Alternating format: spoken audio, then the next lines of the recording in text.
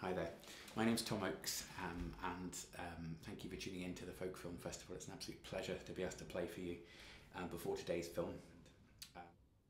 Um, I first went to Morocco, I think it was 2008, for a residency um, put together by a charity called Terre Sans Frontières, um, who are a not-for-profit charity basically trying to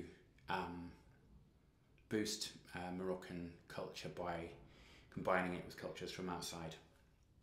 Not easy to do in an autocratic state. So um, they put a call out for um, all art forms uh, to go there for a month and make art together, which is what we did. Um, and it was self-funded, so we didn't have, um, obviously, didn't have very much money, so we were, we were in dormitories and that kind of thing, but, but we were fed well um, and obviously, it's a very cheap country anyway. Um, when you're away from from tourism, much like anywhere. Um, and yeah, by by week three, I'd been pretty much immersed in um, all sorts of culture. Um, a lot of hip hop, Arabic hip hop, uh, Gnawa music, um, which is one kind of traditional music from there. Uh, the Berber music from the mountains, and little bits of, of reggae. Morocco has a big Rastafarian community as well. So by week three, um, I was looking to write something um, to, to sum up my time there. And what came to me was perhaps one of the most sort of straight Irish sounding things I'd ever written. Um, and I guess it just goes to show um, something. Maybe that if you're outside of your comfort zone for too long, your um, your roots just just show eventually. Um, but I'll play that for you first. It's a piece called uh, Marrakesh Week 3. I'm gonna uh, play you two Irish tunes um, that I'm very fond of. The first one um, kind of sums up the emigrant experience a little bit. It's a tune called Paddy in London. Uh, and I was recently finding out about my family history and how um, they moved during the famine to, to Leeds and um, and set up shop there in, in printing. Um, and it must have been a tough time, but the music would have kept the, muni- uh, the community together, the music in the church, I suppose. Paddy in London, um, and then I'm going to play you ah, something else after that. We'll see, and I'll put it in the comments what it is. Um, yeah, thank you very much.